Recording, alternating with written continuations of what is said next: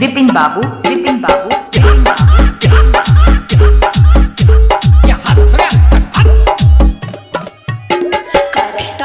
लगता है कुछ बाबू तुम्हारा। लड़कियों से दूर ही रहना लड़कों से भाईचारा। अरे ना मैडम जी ऐसा कुछ नहीं है। देखो मैडम जी